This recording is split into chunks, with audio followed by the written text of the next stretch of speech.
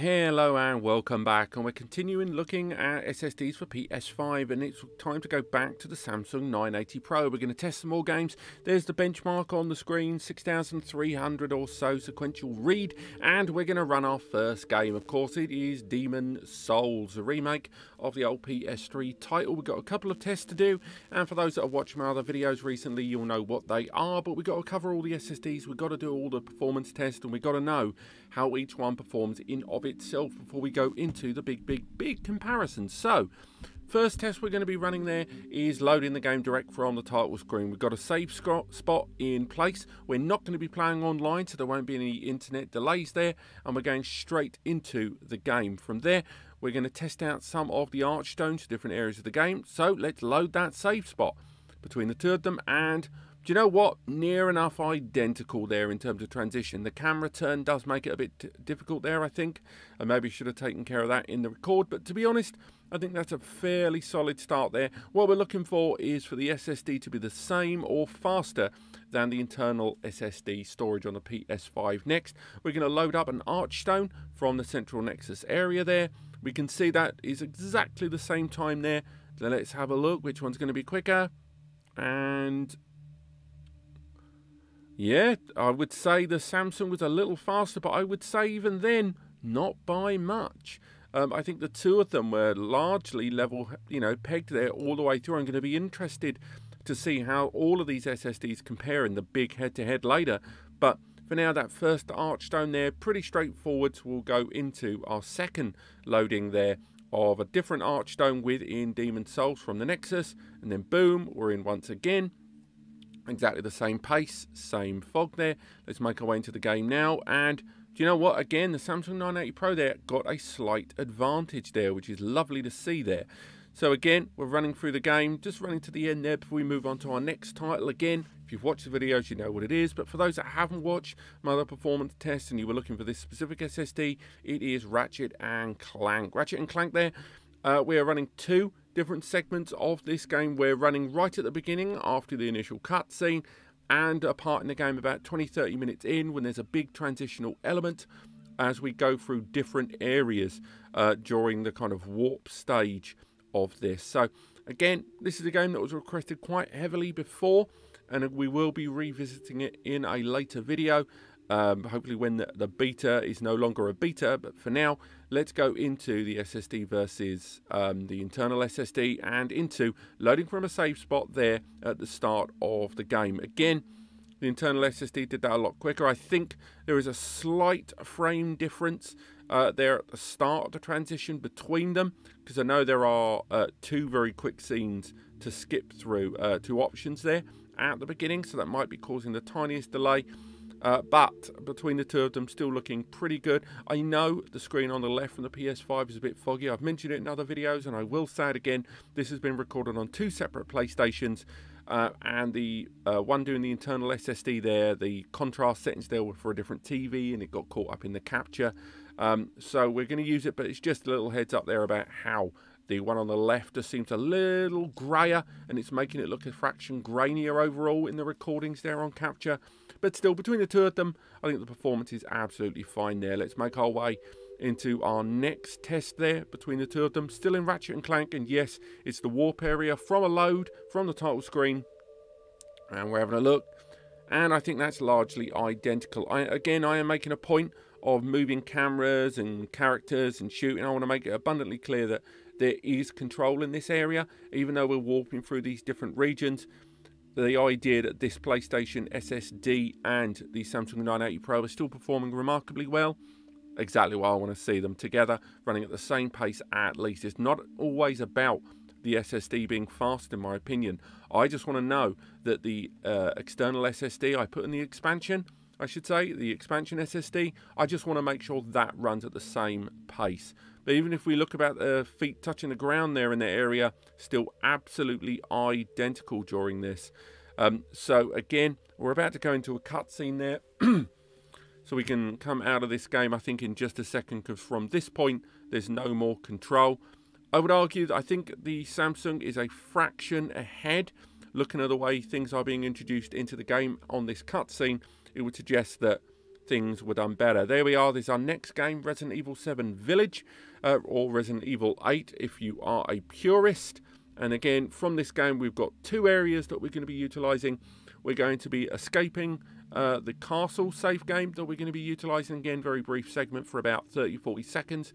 And then from there, we're going to go to the stronghold later in the game, where we're going to transition through several game areas in one solid run, just to show that the game doesn't have any load difficulties in between as we go into these different assets. So the first one, save game, loaded from the title there into it, less than three seconds, boom, we're in. I think, again, almost little to no difference between them there. Yes, there's difference about what the things happening on screen are, but again, that's more how the game is controlled. And I'll be honest, this is the um, stock footage that bums me out the most about that horrible uh, contrast sitting there on the other PlayStation. But alas, Moving into load test number two on the Samsung 980 Pro, the one we've done before. Let's have a look loading from the Stronghold. And again, we're in the Stronghold, near enough identical loading there. But the real test is going to be running through this game all the way through two or three areas in a non-stop trot and seeing if the game is going to encounter any kind of loading difficulties there. Sometimes on a game like this, when you're running from region to region very, very quickly, that can result in uh, the game needing to have not being able to utilize its hidden loading mechanics and is forced to um, pause to do the loading. I'm pleased to say that neither the internal SSD, obviously, or the Samsung 980 Pro suffered with any kind of overt uh, forced loading during these segments as I ran through different areas of the game. And again, that darkness there because of the contrast, super annoying, but we're going to have to let that fly for now. Um, but for me, the Samsung 980 is still running pretty darn well overall. Again, it should do with that 7000 sequential read. I should bloody well hope so. But as we make our way towards the end here, we're going to stop by the merchant near the altar. And then from there, we're going to make our way into our second to last game, uh, but for now, we're just making our way running through the village there, the self-titled village of the game there going through. And then from that, we're going to go into a PS4 game with a PS5 upgrade, namely Doom Eternal. Now in Doom Eternal, we are running, as I say, the PS4 version with PS5 upgrade and all the settings in the video section with HDR, etc. All lovely and enabled. So from there, it's going to be interesting to see how uh, the Samsung 980 Pro deals with that. And again, going through it right now there on screen, I would argue that the title screen is one of my favourite title screens. It's so understated, but just foreboding. Um, we're going to go into the first save there, and that is going to be jumping into um, the beginning of the game. So again, quite similar there. I know it's a rapidly spamming X section there. I think most of these games have loaded this game pretty darn well. Um, I think that was a slight um, mistap of the button there. I think on the Samsung, so I'm prepared to let the Samsung fly on this one and say that they're running the same, I would say. Um, but again, the head-to-head -head is going to be the biggest example of that as we go through. But again, as we go through this, one of the things I keep coming back to is these external SSDs. They don't necessarily have to exceed the internal storage. We don't need that. We need it to match it because these games are going to be designed with the internal SSD in mind and it will be great if you can exceed it as technology moves forward, but not essential. So next save, we're going to get into our final game, which is GTA.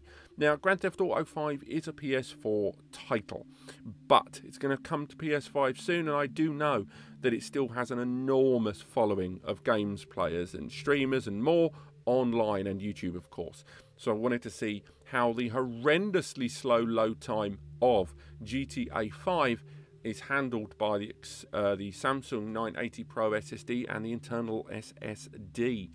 So we're going to load them up. And again, these are from the main PlayStation XMB menu and directly into that horrendously slow load screen from GTA 5. Anyone that's ever played GTA 5, and let's be honest, you have, everybody has, it's GTA 5, you'll know that that opening loading time is horrendous. Yes, there was that smart cookie that managed to slice off a bunch of loading and submit it to Rockstar, and they paid him.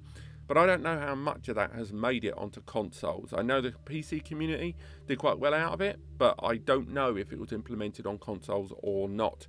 But as we go through and watch these transitions, I would say right now that internal SSD is a pinch ahead. Have you noticed that?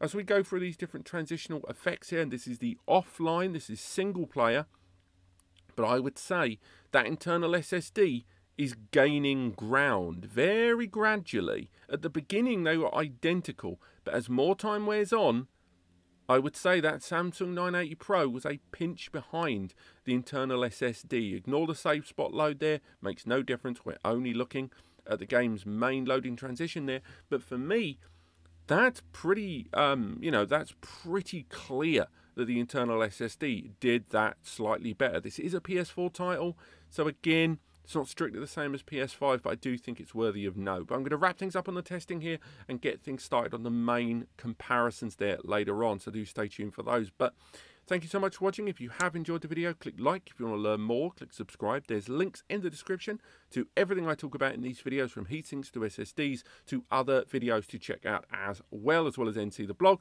And apart from that, enjoy the video, and I'll see you next time.